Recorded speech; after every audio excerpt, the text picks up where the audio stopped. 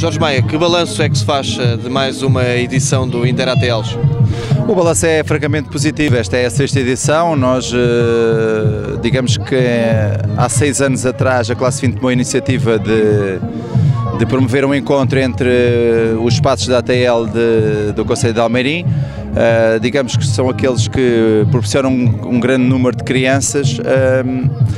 E durante as manhãs de, de, das férias da Páscoa promovemos sempre este encontro, quer com a CAF, quer com o paroquial, com os conquistadores e os infantes, uh, e tem sido bastante gratificante, quer para os rapazes, quer para, para, as meninas e, acima de tudo, para, para os profissionais das instituições que conseguem levar a cabo esta grande organização. Estamos a falar eh, de muito mais do que jogos de futebol.